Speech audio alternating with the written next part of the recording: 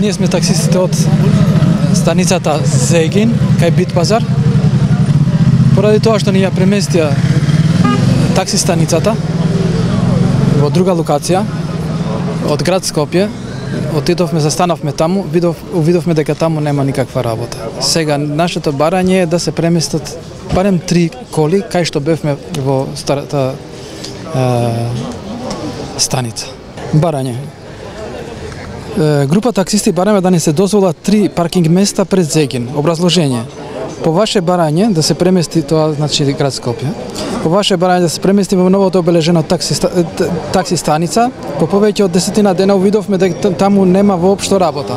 Побарав пробавме со три такси возила да се паркираме пред Зегин, додека другите чекат во ново обележената такси станица, тргна на подобро. Меѓутоа, полицијата не ни дозволува, побаравме помош од полиската станица Бит Пазар, и ни одговорија со ние само си ја вршиме должноста и мораме да ве преместиме во новата такси станица. Потоа побаравме помош од град Скопје и добивме одговор. Едва најдовме заедничко место во договор со МВР согласно законите. При тоа, никој не не праша нас дека таксист, дека таксистанитата е направена за нас. Таксистите од Битпазар. Со новата такси станица не можеме да ги покриеме ни дневните трошоци. А да не зборуваме за придонесите или пак за некаква заработка. Свесни сме дека треба да, да го почитуваме законот. Затоа и сме уредно законски регистрирани таксисти со лиценци.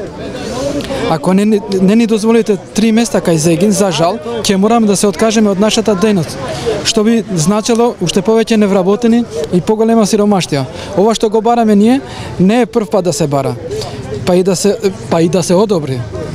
Такви случаи има и кај меѓуградска станица, и кај бол, болницата Систина и неколку, неколку други места. И бараме итно извр... разрешување на нашиот проблем.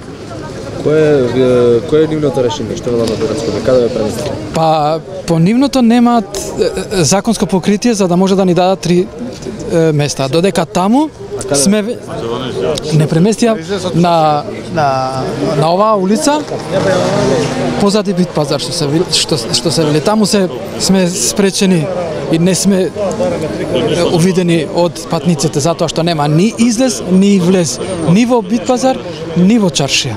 Значи, кај да е таксистите кај што се сместуваат или такси станица кај што има, мора да има еден влез или излез кај што циркулираат луѓето. Ние таму стоиме, можеме само да стоиме да си играме карти. Па едно 20 на 15-20 дена. 15-20 дена за новата, да.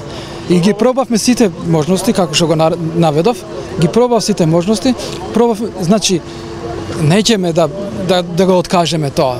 Ке го прифатиме као такси станица, само со примош, со помош на трите места кои се пред кај, кај пред Зегин. Што доколку не ги исполнат вашите барања? Ке останеме се додека ни се исполнат. Или ќе се откажеме од дејност.